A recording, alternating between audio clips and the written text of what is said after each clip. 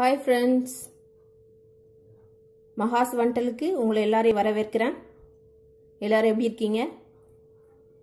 இன்னைக்கு முருங்கைக்காயை வச்சு ஒரு டிஷ்ஷு பார்க்கலாம். இதுக்கு பேர் முனாக்காய மசாலா கிரேவி நாங்கள் இதை முனாக்காயன்னு சொல்லுவோம். முனாக்காய மசாலா கிரேவி முருங்கைக்காயை வச்சு ஒரு கிரேவி பண்ணலாம். இது ரொம்ப டேஸ்டாக இருக்கும். சாதத்துக்கு நீங்கள் பிணைஞ்சு ஊற்றி சாப்பிட்டுக்கலாம். இட்லி தோசைக்கும் சாப்பிட்டுக்கலாம். சப்பாத்திக்கு தேவைன்னா இந்த மாதிரி கிரேவி இல்லாமல் கொஞ்சம் திக்காக நம்ம வச்சுக்கணும். அப்போ சப்பாத்திக்கு வச்சு சாப்பிட்றதுக்கு ரொம்ப நல்லாயிருக்கும். ரொம்ப டேஸ்டான டிஷ் இது. அதே மாதிரி இந்த முருங்கைக்காய் முருங்கை மரத்தில் அந்த மாதிரி வாழை மரம் எப்படி அது மாதிரி முருங்கை மரத்தில் எல்லா பார்ட்ஸுமே நம்மளுக்கு யூஸ் தான். முருங்கைக்கீரை முருங்கைப்பூ முருங்கைப்பட்டை அந்த மாதிரி எல்லா பொருளுமே நம்மளுக்கு ரொம்ப சத்தா தருது நம்மளுக்கு. இப்போ இந்த முருங்கைக்காய் மசாலா கிரேவி முனகாய மசாலா கிரேவி எப்படி பண்ணுறதுன்னு பார்க்கலாம். அதுக்கு தேவையான பொருள் என்னென்னு பார்க்கலாம். வாங்க ஃப்ரெண்ட்ஸ் வீடியோக்குள்ளே போகலாம் முருங்கைக்காய் மசாலாவுக்கு தேவையான பொருள் என்னென்னு பார்த்துடலாம். ரெண்டு பெருசாக இருக்குது அந்த முருங்கைக்காயை நான் இந்த மாதிரி கட் பண்ணி கழுவி வச்சுருக்கிறேன். மீடியம் சைஸ் தக்காளி ஒரு ரெண்டு பொடிசாக கட் பண்ணி வச்சுருக்கிறேன். மீடியம் சைஸ் வெங்காயம் பெரிய வெங்காயம் இல்லை சின்ன வெங்காயம். நான் இன்றைக்கி சின்ன வெங்காயம் தான் எடுத்திருக்கிறேன். நீங்கள் நான் ஒரு கப்பு இந்த மாதிரி எடுத்துருக்கிறேன். உங்ககிட்ட பெரிய வெங்காயம் இருந்தாலும் பெரிய வெங்காயம் எடுத்துக்கோங்க. ஒன்றும் பிரச்சனை இல்லை. ஒரு மிளகாயை இந்த மாதிரி கட் பண்ணி வச்சுருக்கிறேன். அப்புறம் இந்த வேர்க்கடலை இது பச்சை வேர்க்கடலை தான் இது. இதை நம்ம வறுத்துக்கணும். இது ஒரு ரெண்டு டீஸ்பூன் அடிச்சு வச்சுருக்கேன். ஒரு டீஸ்பூன் சீரகம் ஒரு டீஸ்பூன் தனியா ரெண்டு ஏலக்காய் ஒரு பட்டை ரெண்டு மூணு கிராம்பு. கொஞ்சோண்டு தேங்காய் இந்த மாதிரி ஒரு ரெண்டு இது மட்டும் சின்ன சின்னதாக கட் பண்ணி வச்சுருக்கிறேன். மிளகாய்த்தூள் ஒன்றரை டீஸ்பூன் அரை டீஸ்பூன் மஞ்சள் தூள் முக்கால் டீஸ்பூன் கரம் மசாலா. தாளிக்கிறதுக்காக கடுகு சீரகம் ஒரு டீஸ்பூன் இஞ்சி பூண்டு விழுது கொஞ்சோண்டு கொத்தமல்லி தலைகள் கொஞ்சோண்டு கருவேப்பிலை தேவையான அளவு எண்ணெய் தேவையான அளவு உப்பு. இப்போ நம்ம இந்த வேர்க்கடலை இந்த தனியா இந்த மசாலா ஐட்டம்ஸ் இந்த தேங்காய் இதெல்லாம் சேர்த்து ட்ரை ரோஸ்ட் பண்ணி ஆறினத்துக்கு அப்புறமா மிக்சியில் நல்லா நைஸாக அரைச்சி எடுத்துக்கணும். வாங்க இப்போ முருங்கைக்காய் மசாலா கிரேவி இல்லை கறி எப்படி பண்ணுறதுன்னு பார்க்கலாம். கேஸ் ஆன் பண்ணிவிட்டு ஒரு கடாய் வச்சுட்டு கடாய் ஹீட் ஆனவுடனேவும் எண்ணெய் ஊற்ற வேண்டாம் வெறும் வானிலையில் தான் வேர்க்கடல இது கொஞ்சம் வறுத்துக்கலாம். இது வறுத்ததுக்கு அப்புறமா இதோட தனியா சீரகம் அதெல்லாம் சேர்த்துக்கலாம்.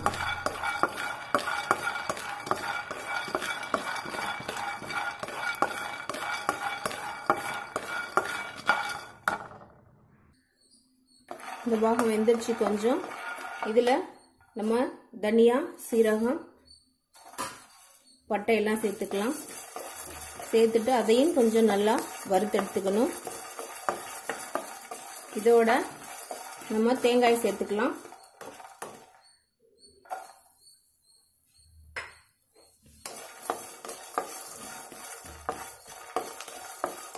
நல்லா கொஞ்சம் வறுத்து எடுத்துக்கணும் இதை. கொஞ்சம் சிம்லே கூட நீங்கள் வச்சு வறுத்தெடுத்துக்கலாம் ரொம்ப ஹைலன்னா கருகிடும். இதை வறுத்து எடுத்து நல்லா ஆற ஆறினத்துக்கு அப்புறமா கொஞ்சம் தண்ணி விட்டு நல்லா நைஸாக அரைச்சி எடுத்துக்கணும் இதை.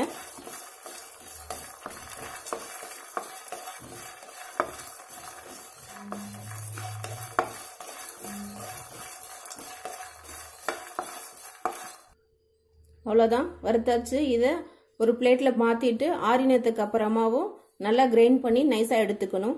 ஆறட்டும். ஆறினத்துக்கு அப்புறமா நம்ம அரைச்சி எடுத்துக்கலாம். ஒரு பேன் வச்சு கேஸ் ஆன் பண்ணி ஒரு பேன் வச்சு அதில் கொஞ்சம் எண்ணெய் விட்டுக்கோங்க. எண்ணெய் விட்டுனே நம்ம கட் பண்ணி வச்சுருக்கிற முருங்கைக்காய் போட்டு வதக்கி எடுத்துக்கலாம். நம்ம வதக்க வேண்டாம். ஏன்னா திருப்பி நம்ம தக்காளி அந்த இது கிரேவி செய்யும்போது போடுவோம். அதனால கொஞ்சம் ஒரு இது ஆஃப் ஆஃப் இது அந்த மாதிரி இருக்கும்போது நீங்கள் எடுத்துடுங்க. இது வதங்கட்டும். வதங்கினதுக்கப்புறம் எடுத்துக்கலாம். அவ்வளோதான் இவ்வளோ வதங்கினது போதும். இதை எடுத்துடலாம். இதை தனியாக ஒரு பிளேட்டில் எடுத்து வச்சிடலாம்.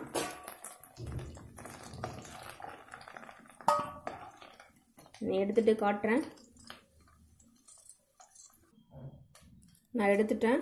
இல்லை சவர்பட்டது இதை திருப்பி நம்ம மசாலா நம்ம தக்காளி வ வெங்காயம் தக்காளி வதங்கினதுக்கப்புறம் திருப்பி போடுவோம். அதனால் ரொம்ப ஃபுல்லாக வதங்கணும்னெல்லாம் அவசியம் இல்லை.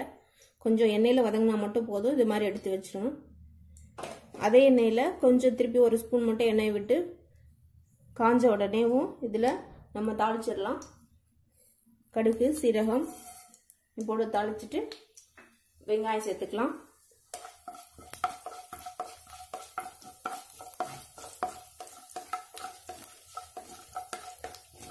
எப்பயுமே தாளிக்கும் போது கடுகு நல்லா வெடிக்கட்டும். வெடிச்சதுக்கு அப்புறமா சேர்த்துக்கோங்க. இல்லைன்னா நல்லா இருக்காது அது.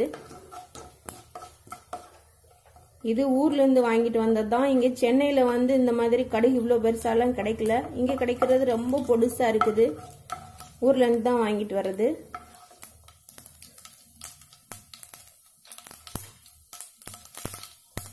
கடுகு வெடிச்சிச்சு வெடிச்சதுல பொடுசா நறுக்கி வச்சிருக்கிற வெங்காயம் இதுல சேர்த்துக்கலாம். அதோடையவும் நான் மிளகாவையும் சேர்த்துக்கிட்டேன் நான். இதோட கருவேப்பிலையும் சேர்த்துக்கோங்க. அப்போ நம்ம மேலே கொஞ்சம் வெடிக்காதது எப்பயுமே சமையலில் சின்ன வெங்காயம் சேர்த்துக்கோங்க. அதுதான் உடம்புக்கு கொஞ்சம் நல்லது. ஏன்னா காலையில் நம்ம அரிபரியாக வேலை செய்கிறதுக்கு சின்ன வெங்காயம்லாம் நறுக்கி வச்சுட்டு இருக்க முடியாது.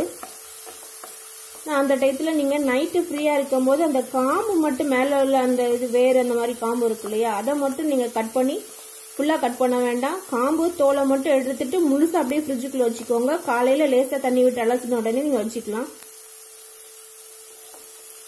இதுதான் எந்த ஒரு டிஷ்ஷுக்குனாலுமே ரொம்ப டேஸ்டாக இருக்கும். கிராமத்தில் எல்லாமே சின்ன வெங்காயம் தான் அவங்க வாங்குவாங்க. பெரிய வெங்காயம் எல்லாம் ஜாஸ்தி அவங்க வாங்க மாட்டாங்க. சின்ன வெங்காயம் தான் அவங்க யூஸ் பண்ணுவாங்க.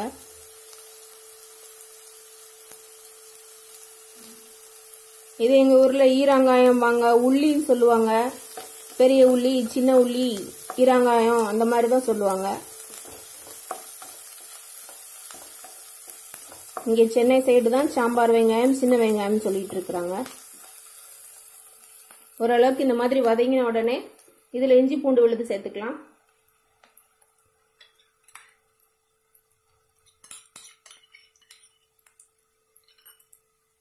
இது கொஞ்சம் பச்சை வாசம் போன உடனே நம்ம பொடுசா நறுக்கி வச்சிருக்கிற தக்காளி சேர்த்துக்கலாம் அதில்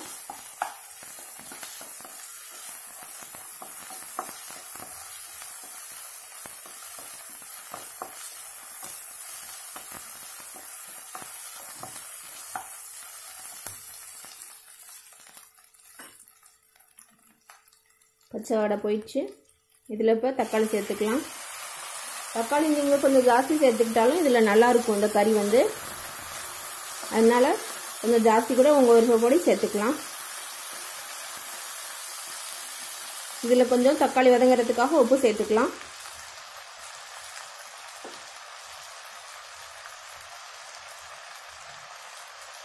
அப்போ சீக்கிரமாக நம்மளுக்கு தக்காளி கரைஞ்சி வரும்.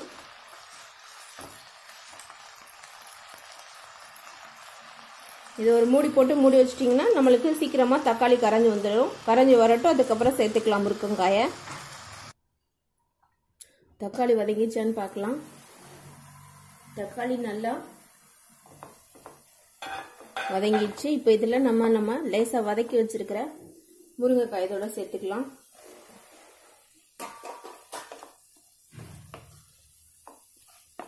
இதோட இப்போ ட்ரை மசாலா சேர்த்துக்கலாம். இதுக்கு காரம் வந்து மிளகாய்த்தூள் வந்து உங்களுக்கு தேவையான காரம் போட்டுக்கோங்க. நீங்கள் எவ்வளோ சாப்பிடுவீங்களோ அவ்வளோ போட்டுக்கோங்க. ஒவ்வொரு ஃபேமிலிலையும் ஒவ்வொரு இது சாப்பிடுவாங்க. இப்போ எங்கள் வீட்டே பாருங்கள் நாங்கள் ரொம்ப காரம் சாப்பிட மாட்டோம். ஆனால் எங்கள் அப்பா நிறைய காரம் சாப்பிடுவாங்க. அந்த மாதிரி ஒவ்வொரு வீட்டுக்கும் வித்தியாசப்படும் உங்களுக்கு தேவையான காரம் இன்னும் சேர்த்துக்கோங்க. இப்போ ட்ரை மசாலா இதில் சேர்த்துக்கலாம். மிளகாய்த்தூள் மஞ்சள் தூள் கரம் மசாலா இதில் சேர்த்துக்கலாம்.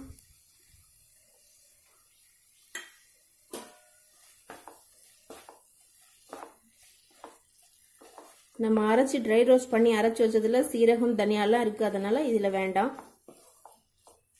உங்களுக்கு அப்படி தேவைன்னா அதில் கூட கொஞ்சம் தனியா சீரகம் சேர்த்து வறுத்து அரைச்சி வச்சுக்கோங்க.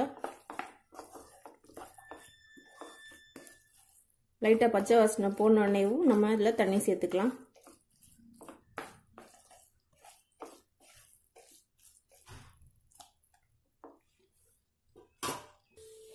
பச்சை வாசனை போயிடுச்சு. இதில் இப்போ தண்ணி சேர்த்துக்கலாம்.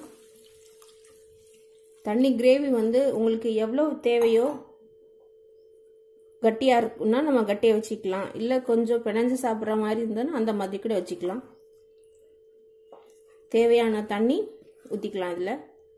அப்படியே உப்பையும் செக் பண்ணி இப்போ நம்ம தக்காளி வேகிறதுக்காக கொஞ்சம் போட்டு இப்பையும் கொஞ்சம் உப்பு போட்டுக்கலாம். நீங்களும் உப்பு செக் பண்ணிக்கோங்க. அவ்வளோதான் இது கொஞ்சம் கொதிச்சு வரட்டும். தட்டை வச்சு மூடி வச்சிடலாம். கொதிச்சு வச்சதுக்கப்புறமா நம்ம அரைச்சி வச்சிருக்கிற மசாலா சேர்த்துக்கலாம். வெந்துச்சான்னு பார்க்கலாம். நல்லா கொதிச்சிட்டு இருக்குது. வெந்துருச்சு முருங்கைக்காலாம் நான் ஒரு மூணு டம்ளர் தண்ணி ஊற்றினேன் அப்போ தான் முருங்கைக்காய் கொஞ்சம் வேகும். நீங்கள் பிஞ்சு முருங்கைக்காய்னா கொஞ்சம் சீக்கிரமாக வெந்துடும். இது கொஞ்சம் பெருசாக இருக்கிறதுனால கொஞ்சம் டைம் எடுக்குது. வெந்துச்சு. இப்போ நம்ம அரைச்சி வச்ச மசாலா சேர்த்துக்கலாம். நம்ம ட்ரை ரோஸ்ட் பண்ணி வச்ச பொருள் எல்லாத்தையுமே இந்த மாதிரி அரைச்சி வச்சிருக்கிறோம். இதை சேர்த்துக்கலாம். இதோட கொஞ்சம் தண்ணி சேர்த்துக்கலாம்.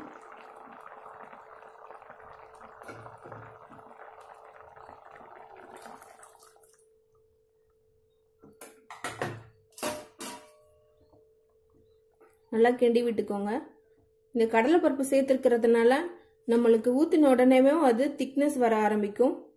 அப்போ அதுக்கேற்ற மாதிரி உங்களுக்கு என்ன எவ்வளோ திக்னஸ் தேவையோ அதுக்கேற்ற மாதிரி பார்த்துக்கோங்க உப்பு காரம்லாம் செக் பண்ணிக்கோங்க. அவ்வளோதான் இது கொஞ்சம் கொதிச்சு வரட்டும்.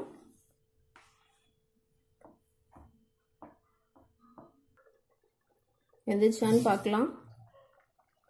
நல்லா திக்காக வந்துச்சு போதும் இவ்வளோத்துக்கு வந்தது. நம்ம சாதத்துக்கு இட்லி தோசைக்கு ஊற்றி சாப்பிட்றதுக்கு ரொம்ப நல்லாயிருக்கும் அவ்வளோதான் போதும் நான் ஆஃப் பண்ணிடுறேன். லாஸ்ட் இறக்கும்போது இதில் புதுசாக தூவின கொத்தமல்லி தலைகள் தூவி இறக்கிக்கலாம்.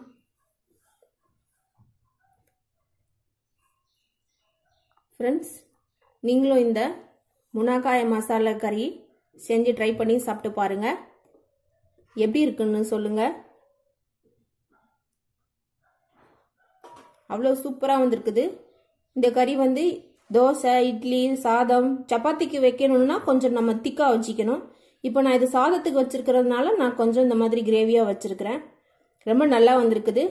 நீங்களும் செஞ்சு பார்த்து ட்ரை பண்ணி பாருங்கள் ஃப்ரெண்ட்ஸ் இதை ட்ரை பண்ணி பார்த்துட்டு எப்படி இருக்குன்னு சொல்லுங்கள் ஃப்ரெண்ட்ஸ் என்னோட வீடியோஸ் உங்களுக்கு பிடிச்சிருக்கா? பிடிச்சிருந்தா லைக் பண்ணுங்க ஷேர் பண்ணுங்க. மறக்காம சப்ஸ்கிரைப் பண்ணி வச்சுக்கோங்க. அப்போதான் தெலுங்கு வண்டலோட ரெசிபிஸ் நீங்கள் பார்க்கலாம். வீடியோஸ் பார்த்து என்ஜாய் பண்ணலாம். ஓகே ஃப்ரெண்ட்ஸ் பாய் நான் வேறொரு ரெசிபியோட உங்களை பார்க்குறேன். பாய்